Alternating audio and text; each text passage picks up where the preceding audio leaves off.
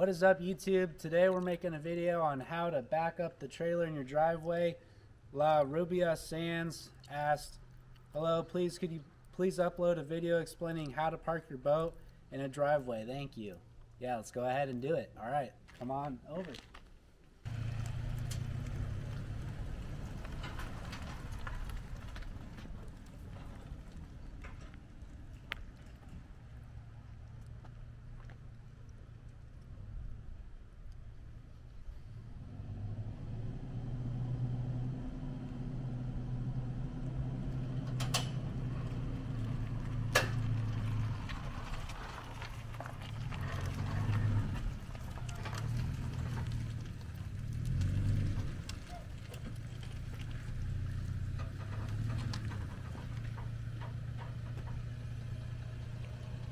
So basically right now, the reason I like coming up on the right side of the road and backing up towards your right on the passenger side is for two main reasons. One, you're on the right side of the road, so if any cars coming up, they can pass you because they're not all angry and everything. You're not crossing over the entire road. The second reason is the blind spot over here, I can reach out and actually look and make sure if there's like a little curb or a rock or something, I can check and make sure I'm not hitting anything over here. If I'm doing it on the other side, that blind spot is over there and I won't be able to see it. So my blind spot, which is the passenger side, I've got my mirror and I can look at my boat or trailer the entire time with the mirror because it's crossing over and it's super clear.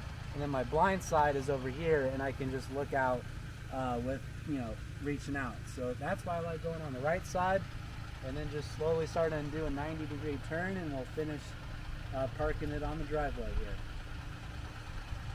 Let me pause the video for one second here. I just want to clarify one more thing. So here's your driveway. You've got, this is what we were doing initially. So we pulled forward and here's the driver. You come back and look, you can see this entire area with your mirrors. And then over here, you can look over and basically see all of this area with just sticking your head out the window. The problem with this is you can look at your mirror and see all of this, but now this is your blind spot of your truck right here.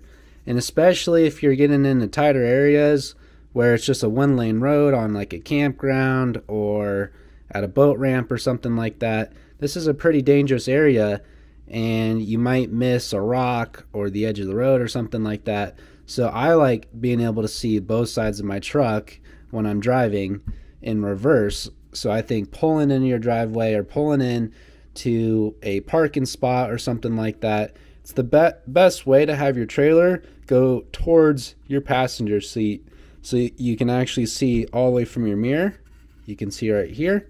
And then also with this one, you can go all the your blind spot over here with your uh, mirror or just look out and see with your own eyes. This side, I just feel like you get a little bit more blind spot over here, which I don't like when you're pulling in your driveway. And you're also going towards the opposite direction of traffic, which cars don't like. So you can just come down the road, stop, and then just make sure you stop straight and then turn your wheel towards the right if you have your hand at the bottom of the steering wheel and then just back up straight and you should be set. All right, let's continue.